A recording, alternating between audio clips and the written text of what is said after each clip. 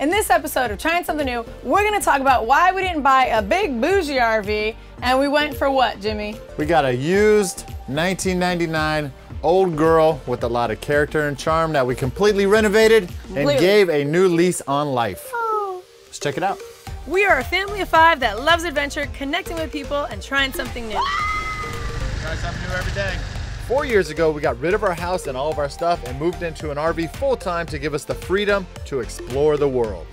Since COVID shut down international travel, we are back in the RV for more adventures until we get our sailboat sometime in 2021. Let's inspire each other along the way and live a life with no regrets. So hit that subscribe button and let's get ready to try something new. All right, so I'm gonna give you a little tour of what we did and how we renovated this old RV. All right, so first off, Jimmy talked about how we had everything reupholstered. It was all tapestry, you know, nothing we wanted. So we made this cool leather, we got everything two-tone, gray, with black piping on it. Um, in the kitchen, we added this little blue color because of course we love this turquoise blue. Um, and everything else, we painted it all, we sanded everything down, we did all the cabinets white, we added some turquoise splashes, just because we love that whole beach vibe, beach theme. We had an airbrush artist come in and touch up a few spots. He put love life in the front. We got this little beach scene. And in the bedroom, I'll show you after, each kid had their own little area with whatever they wanted. Um, and then let's talk about, so this is our living room. So we got a nice little shag rug to make it homey. I think for us, it's all about being homey, like that really comfy, snuggly feel. We have little kids, so we just want it super fun for them and colorful.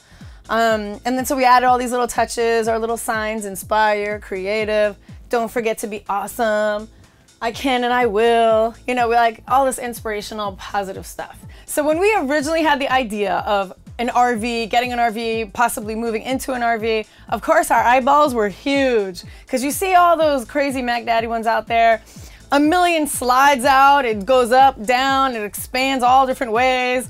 The ceiling has all these layers, lights, and this crazy Italian leather. And we're like, Marble and wow. stainless appliances. shiny object syndrome. like, look at that. But guess what? A big old price tag comes along with that big old bougie RV. And so we're like, ah, we don't need that, but we do want diesel. We had the list of wants, right? And then we started looking at some. We test drove one. We're like, wow, this is really nice. At first, we started out like 200,000, and then we started calculating monthly payments, and we're like, this is the same as a house. And we're like, wait, well, all right, well, okay, we well, you know, we'll figure it out. What's our max that we want to spend a month? You know, and we went down that rabbit hole. And then what happened? Well, we got down to let's maybe go with a 100,000, and then we started looking at monthly payments. They were like eight to 900 a month, and then you add on whatever you're gonna pay for an RV site, and that equals $2,000 a and then month. we went, The step brakes. on the brakes. Right. What are we doing? And I'm sure people can relate. It's like when you first are looking at something new, like say an RV, you're like, oh wow, I want all the bells and the whistles and this and that.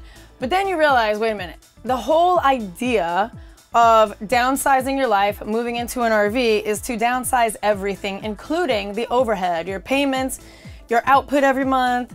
Because when you hit the road, you don't want to be responsible for all these bills. Or at least know? we don't anyway. We don't. You know, we are super nomadic people. We don't like to be tied to anything. And so once we reeled back all of those wants and needs and what we thought we needed, and we said, you know what? We got 20 grand that we're going to put down That on was, something. yeah, that was our down payment to put down. we're like, all rig. right, we got 20 grand, we'll put down. But then we go, you know what? We don't want a monthly payment. The whole idea of this was to have no monthly payment, like as little overhead as possible because we like to travel international a lot and we want that money to go into traveling. And so that actually made things a whole lot easier because we took that money and Jimmy goes, actually it was you that that did it. Go, he's like, well, let me look and see. I didn't even think there was anything for 20,000 on the market. And then he started looking at RV Trader and he goes, wait, Sandy, there's actually like really nice ones, really nice RVs, older, older but nice, right? So I said, get the heck out of here. I want to look at this. So we started looking and literally there was cheaper ones too. Oh, I couldn't believe it. Like we can actually pay cash for the RV, have no monthly payment. And the plus side was that it may be older, but you can renovate the whole You thing. You can do whatever you want to and I mean, not feel on guilty. look on Pinterest. Mind blowing stuff that people have done with their RVs and fifth wheels and all of that. So that actually completely changed our, our ideas on everything. And we were like, you know what? That's way better than all these bougie RVs where it's not, not our style. The thing is too, if we bought one of these $100,000, $200,000 RVs, eventually someday you're gonna wanna sell and get some kind of your money back out of it. Yeah. So if you go into the inside and totally gut it and paint everything and Or rip yeah, out, customize it in a way like we're super colorful and we like all that. Not everybody does. we ripped out all the window coverings, we ripped out, we ripped out everything from the headliner to the floorboards in this thing. All right, so a lot of people ask us where all the magic happens in the RV, and I have to say this is one of the spots where the magic happens. When we lived in a house, uh, we have a professional editing bay upstairs in a spare bedroom. I Had three monitors, super speakers everywhere, and I never thought that I could go to a laptop and edit. But this is what we do all day, every day when we're creating our videos for our YouTube channel. We shoot everything, come up here and edit. Beautiful view of where we are. Sometimes we're at the beach, so I'm looking out at the ocean. But yeah, that's it. This is where all the magic happens when it comes to editing. All right, so when we first originally got this RV, everything in here was brown and tapestry, old upholstery. So we found a guy that did hot rod upholstery. He came in, we ripped out all the seats, four bolts on each one, ripped out the couch, the chairs, dinette, all that stuff. We dropped it off over at his shop. A couple days later, maybe a couple weeks later, we picked it up and put it back in. It's been wonderful ever since. He redid all this. We spray painted the dash, put new little th super thin upholstery on there, spray painted this thing right here. Had a guy on Craigslist come over and redo the doghouse, new carpet, and had another guy come over and did the floors for like 150 bucks. And the guy that did the upholstery also redid the ceiling as well because it was like um, a carpet material. And whoever was in here before smoked cigars every once in a while, so it had that nasty cigar smell. And so we thought we'd go through and just give it a fresh rejuvenation so that we can enjoy newness because we like new, even though it's old. So we'll rewind a little bit. So I started looking on RV Trader. They had a 1999 Winnebago, which is what we have right here, uh, for $20,000. And I was looking at the floor plan. We really like this floor plan. And as you went up to all the way to 2006, nothing really changed in this RV. So a 2006 is going for 80 grand. A 99 is going for 20 grand. 20, yeah. And it's the same engine, the same chassis, the same wheels, the, same everything. suspension. The outside, the headlights were a little bit different, but that's pretty much it. And so yeah, we went down to South Carolina, picked this thing up, drove it home, and since then, this has been our baby. She's part of our family. We put in 40,000 miles on this thing, not even one little hiccup at all. No. We bought it with 26,000 miles on it, a 1999 with 26,000 miles, So which the, is really cool. the crazy thing is we know a lot of people that have brand new rigs, brand new fifth wheels, RVs, and crazy things are happening to them. Like the belt breaks and smashes everything in the engine, or tires fly off, or crazy things like. And I'm like, look, this girl, knock on wood. She, like, literally, we haven't even blown a tire yet. Now, I hope I didn't just jinx myself. I'm gonna get some but- wood too here. like nothing bad has happened at all. She is 100% dependable. Took us all over the country, literally 40,000 miles worth of traveling in the US. Not one issue. We had a, when we were doing a lot of high-end weddings a few years ago, we had a job in Vegas on Monday, yes. and we had a job in New York on Saturday. So we looked at each other No, and it's goes, Friday. We, we had to be there by Friday. do you think we can drive from Vegas to New York in four days in the RV? And we calculated it. If we did 16 hours a day, hours. four days in a row without even a hiccup, we can make it. Do not recommend that We had a to con- anyone. we had a contingency plan in case something went wrong. We'd hop on a flight and get to the other wedding. Yeah. But we made it there without even nothing. it was nothing amazing. happened, yeah. yeah. And we're like, holy moly. and this guy drove every single one of those 40,000 miles because you're not going to catch this girl behind that wheel. we should do a video where you drive the RV for the first time. That'd be really cool. Oh, that would be funny. We should do that. if you guys want to see that, put some uh, comments on below. So I'll take a step back, and now we have entered the dining room and the kitchen. So what we've done here is made this super cute and modern. We covered all of the countertops and the table, all of the countertops because it's quite large, with corian. And um, we did this cool black splash, black, what the heck? Backsplash with we want we originally were gonna do the top the you know the actual little tiles, but you know when weight is a concern with an RV, we just we discovered these stickers and I was like mind blown. So we covered it with these uh, gray and white black stickers, and it looks like a real backsplash. So crazy. And so what else? Oh, and I talked about this in another video, but this faucet right here has stolen my heart. We had this little RV faucet that you couldn't do anything with. You couldn't even do the dishes. Water would spray everywhere. And so I saw this guy and I went, oh yeah, yeah, we, are getting him. He comes down. We have a double-sided sink. Super awesome. Um, we added a filtration system here, which we talk about in another video. RV must-haves. Check it out. And then yeah, so this is our kitchen. What do you think? Super cool. We have pretty much we have every kitchen need you would want, right? We have the microwave, we have the stovetop, we have an oven, fridge, freezer, and then we have a bunch of all of our other appliances in the closet. So, I mean, this is a full house, but in a tiny home setting.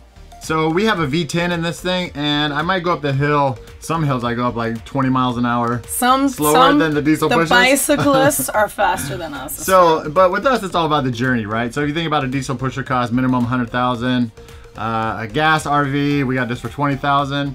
If you take that $80,000 difference, you know what? I'll get to the spot two hours after you get to the. I the can do a lot better things With with $80,000 So- than having a so, diesel opposed to a gas. I won't go up the hills as fast. And sometimes diesel is cheaper than gas, but it doesn't really make a difference. But the maintenance on a diesel engine is a lot more than Is the maintenance more. on a gas So engine. So I know people have commented asking us about which is better, gas or diesel. And honestly, we, I, we were dead set on a diesel. We're like, oh, it's more this and that, it's more powerful. Great marketing. But it's not necessary, you know? We towed a 5,000 pound car behind Yeah. this thing. It's good. Yeah. It's good, man. And so it depends. What's your price point? Right.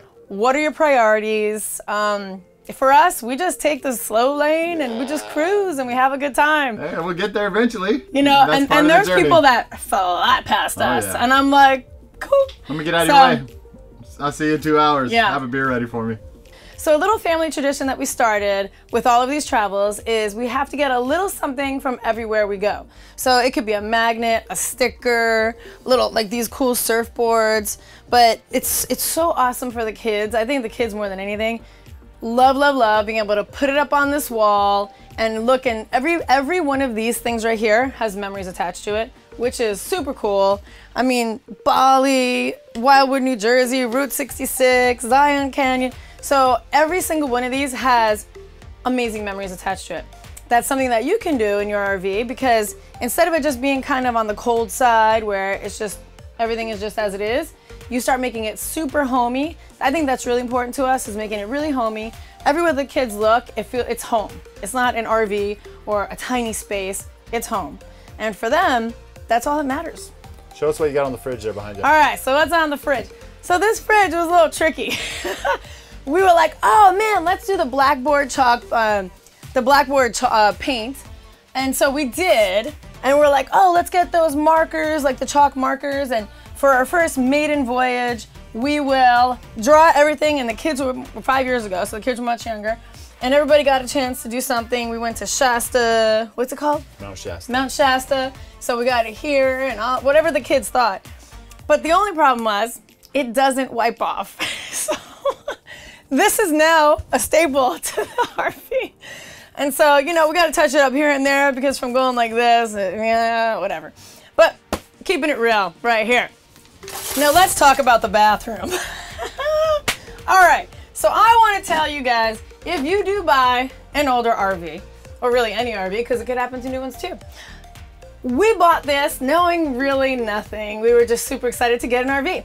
So we, the guy that we bought it from told us about it has a little delamination, and we're like, okay, whatever, as if it's got like like a dirty spot on it. You know, didn't think anything of it. Had no idea what that meant. It means water damage. People, if you hear delamination, it means water damage. 90% of the time, 99% of the time. So what happened was this sunroof was leaking horribly, apparently, which rotted the entire wall. And so we had to replace the entire bathroom as soon as we got this RV. Sucked. You know, those that's not fun. But so, just a little word of advice. Do your research, have it inspected, make sure there's nothing like that because you can avoid that. There was other ones on the market that we could have gotten, but we went this one for whatever reason and this one had the damage. Just Hard, hard lesson learned, right? Just do your research. Because, you know, now we know. We wouldn't buy an RV again that had that kind of delamination. Anyways, so yeah, we made this a super cute, fun bathroom. This is a residential um, vanity for a house, which is awesome because, you know, RV bathrooms are usually like an airplane bathroom. No storage, no nothing. And so, yeah, I love this bathroom. Okay, and last but not least, Oh, baby Oh, Yoda. baby Yoda. Isn't he so cute? The newest addition to our family. All right, baby Yoda, go take a nap. All right, so the last element of this is the bedroom. Now, all five of us sleep wall to wall right here. It is so spacious and so roomy. Just kidding. Just the kids sleep back here. We've tried multiple different ways of making bunks and this and that. It originally came with a queen and two nightstands, and um, that wasn't gonna work. So we ripped it out. Jimmy's super handy. He made this little setup with bunks, and those kids never slept in the bunks. And we're like, well, that's a lot of wasted space, and so we need to figure out something else. So we got a king size mattress and custom made foam on both sides. So it's literally a super duper size king mattress um, that the kids sleep on. That's Nixon Spot, Ryder, Sky, and guys, they love it. It's so everyone goes, oh, they need their own room. We tried that, they didn't care. They wanted to go back in the RV. Who would have known? They love it. They want to kill each other sometimes during the day, but they snuggle with each other at night. It is adorable. And me and Jimmy sleep out on the couch in front. People say, why don't you give the kids the couch and you sleep here? The couch is a lot smaller than this, and there's three kids. When we originally were going to buy an RV, we wanted the bunkhouse, of course. And but we could not find a damn bunkhouse. So we're like, you know, we're gonna make it work no matter what. We're gonna roll with it. And that's what we did. And then, like I said about the airbrush artist, he every kid got to design what they wanted. So we got Ryder, Skylar, Nixon over here, and then we did a little beach scene in the back. But yeah, this is this is it. It's colorful, it's bright. I think that was my main thing. I wanted it to be bright and colorful. And so I think we've achieved that. What do you guys think? Now let's check out our massively long hallway. Now what have we done with this long hallway? We have adorned it with family photos. Now, like I said earlier, it's all about customizing it and making it personal and homey. And so we've done that here. We have all of our family pictures. We had a, a photographer friend take all of these absolutely adorable pictures of the kids. And it's like the Ryder was 10 days old here. How cute is that? And then one of our friends made this for us, which is all about how we live our life. Um, here we did a cute little boy and girl bathroom. I'll open that so you can see it. Laugh. So, you know, it's all about just making it yours. You know, it's all about making it yours. Here's whale sharks in the Philippines, Zion, Thailand, Philippines. So make it cute, make it fun, make it you. All right, should we get up? Yeah, let's go. Let's go show them the outside. All right, quick. so this is where Jimmy and I sleep. Uh, it's roomy enough, Yeah, I've right? got, I've got about two inches. I'm six one. I got about two inches down here. And if we ever need the actual full mattress experience, we kick the kids out and they come out here and they have a slumber party. So it's all it good. works. Well, I don't mind it. I don't mind it. I don't mind it. So the perk with us being out here, opposed to in the bedroom and the kids being out here, is that they can go back in the bedroom. We close the door, and then we can still have the lights on. We can talk, TV, work, whatever, and we still have the run of the whole RV. Opposed to if the kids were going to sleep out here, we'd have to be quiet. We'd have to, you know, we have to settle down with them. And when we get up super early, we like to get up like 4:35 in the morning, go do our workout. But we can be loud out here and turn on some lights and make some coffee and just do what we need to do. Yeah, believe it or not, pretty much almost every night, one child out of the back will come out here and want to sleep. I'm like, there's no room. Go back to bed. you know, most parents Please, say get in the back, there?" but we can't do it. Mm, there's about a two foot gap right here, so. we can't do it. So what do we got? I, I'm like this, hanging off the edge, about to fall. And I'm against the wall. But a kid in the little guy or girl is sprawled out there. as long as they're comfortable, I guess that's all that matters. So yeah. Or midway through the night, they're here and I hop in the back and I'm in the mattress. So yeah, we just make it work. Let's go check out the outside. Let's go. That was funny. Oh, that was almost a good nap. it's close to the mosquitoes get in. Ah, it smells like fire. Someone's know. barbecuing some ribs Look or at the something. outside of this thing. Jeez All right. So, what may scare people away with getting an older RV is the outside, right? Because the exterior gets sun damage, the decals get faded, it may look like a dingy white or whatever, like ours did. Yeah. Ours was all of that. And so you know what we did? We had the whole thing wrapped. And that is a inexpensive way of getting a facelift for your RV. Ooh, good way to put it. Yeah, it's a facelift for the RV. The typical swoosh design on the RV isn't necessarily something we wanted anyways. And so Since we had yeah, since we had kind of a retro looking RV already, we said let's go with a retro look. Yeah. So if you follow the diagram of the new decal, it covers up exactly where the old one was. I had to scrape it off. It took me and Nixon about three days I to think scrape I was it in all there off. too. Yeah. Uh, with it's a, actually not a hard process. You heat up the decal. and you get a plastic razor blade. Don't use a real razor blade because you'll mess everything Oh, up. Oh, that would be bad. So you get it all off. We dropped it off at the wrap store. I don't know. I think it was like three thousand dollars, twenty six hundred dollars, something like that. Yeah. We picked it up the same day, super fast, and voila, we got And a new since- RV. Since we've had all of the blue and gray, we have added our website, our logo on there to add more splashes of pink and super fun and funky stuff. So that's been maybe another thousand, fifteen hundred on top of that. But I mean, that's optional. No one needs to do that. But you can get the whole thing wrapped, thirty-five hundred, so- the entire thing. But get something that fits your budget. Get something that allows you to have financial freedom. Yes. Because there is no better feeling in the world than not having any bills. Yep. No utilities, no power, sewer, gas, trash, whatever else is out there, telephone, internet, all that stuff. So I have to say something. I was looking on Face. I'm on. I am a member of the Full Time RV Families Facebook group, and someone said, "Can you guys please tell me? I, I was looking at RV spots, and they're like 35 plus a night. How is this even afford more affordable than living in a house or renting?" And I'm like, "Wait a minute. What do you mean? Like?" You don't do it nightly. If you're gonna live in the RV, you usually go by month or something like that because if you go with a monthly rate, there's places we've stayed where 600 it was bucks a month. four hundred dollars a month. I think in Boise, Idaho, there was, which was a beautiful area. You're in Boise. It was four hundred dollars a month, and I'm thinking, are you, are you serious? Like that's crazy. And so, and, and if you do like Thousand Trails membership stuff like that, you can invest in places to stay where it costs you almost nothing. So if RV, you know, if you want a full-time RV and do that kind of a lifestyle, it can be so inexpensive. If you boondock all the time, it can be literally. I think one of our We have- friends says five dollars a day because a they boondock. yeah, a whole group of friends that, that they pride living on nothing on five bucks a day. because Man, that's what they do. But now they invested money in solar and all this oh, yeah. to make them self-sufficient while they're out there.